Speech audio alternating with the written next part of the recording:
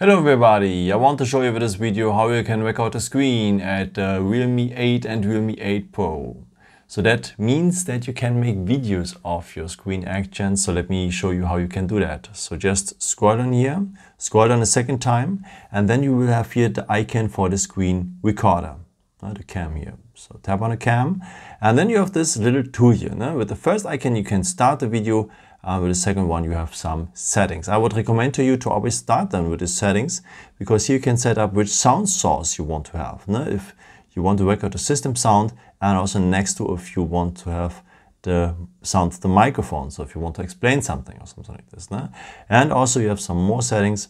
This is more about um, the video resolution, so the quality of the video. So that means uh, if you have a high resolution, it takes a lot of storage uh, and it depends what you want to show. Now, If you want to show um, a game which one have a very high resolution, I recommend to you a high video, um, the maximum video resolution here. If not, if you just want to make some uh, basic tutorials, then uh, choose a medium or a lower one. Okay, and you have also uh, the opportunity to set up the frame rate and so on, and here also to set up the sound source again. Okay, then let me close that and let's start the video. So just tap here on the uh, recording symbol and the video uh, recording has started.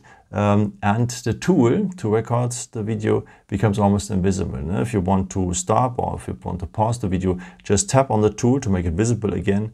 Then you can call, pause the video or you can stop the video. Now, just let us stop it. And then it will be part of our gallery. And where are the pictures and videos? Of course, here at the gallery. And um, basically, you're on the photos. On the photos, uh, you cannot really see the uh, um, video recordings uh, from the screen. But if you go here on the category albums, you have an own folder just for your screenshots. And there is also the video or the videos in for the screen recording. So um, you should always have a look here and that for the, for the screenshots if you want to have your screen recordings. Yeah, I hope I could help you with this video and answer a question.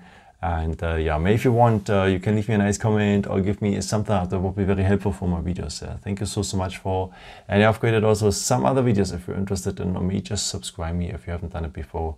Uh, thank you so, so much for your support and uh, yeah, maybe until next time. Ciao.